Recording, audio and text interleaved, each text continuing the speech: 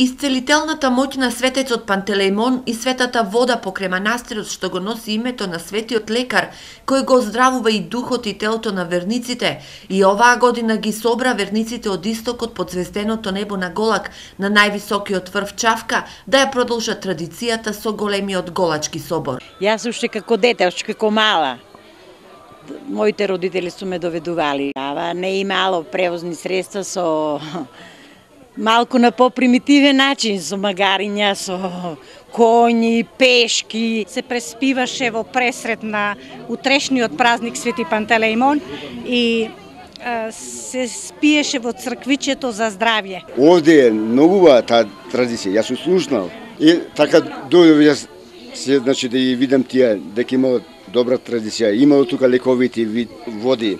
Стариот манастир беше претесен да ги собере сите верници кои палеа свеќи за здравје, но ова година манастирот имаше нов лик. Ова година го реконструиравме манастирот по, по иницијатива на граѓани од Долчево.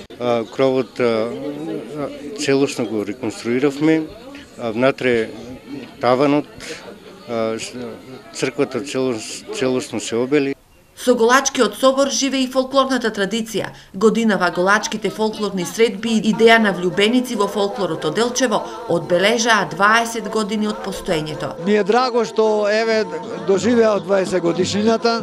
Дај Боже да доживееме и уште повеќе години. За 20 години мислам дека овој фестивал си го доби своето место во во фолклорот во Македонија. Во овие 20 години еве успеавме да ги одржиме овие голачки фолклорни средби.